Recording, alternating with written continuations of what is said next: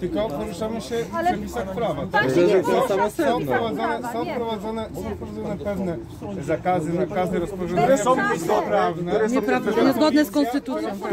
Który Nie, musi. Aha, nie musi. Nie. No Panie sierżancie, panie sierżancie, ale właśnie uderzył pan w sedno, ponieważ wykonuje pan polecenia e, właśnie polityczne. Pewne zakazy i nakazy mogą być wprowadzone tylko i wyłącznie w ustawie.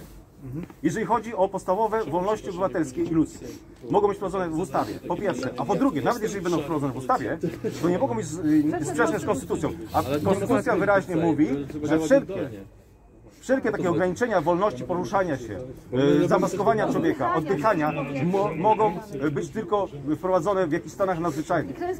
A nie kiedy się jednemu durnemu dwornikowi czy innemu przestępcy zachce.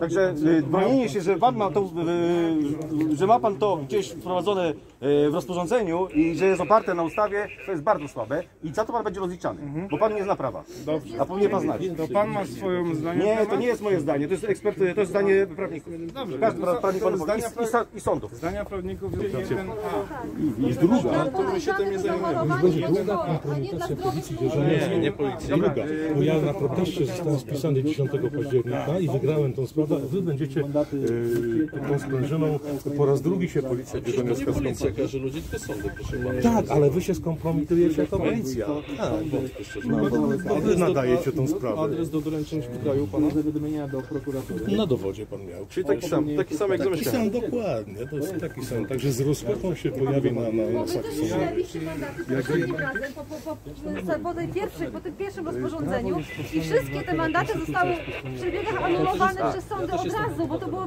bezprawne. I Wtedy teraz też pan mówił, że jest- że jest zgodne z prawem. to samo i Mówi pan, że jest zgodne z prawem?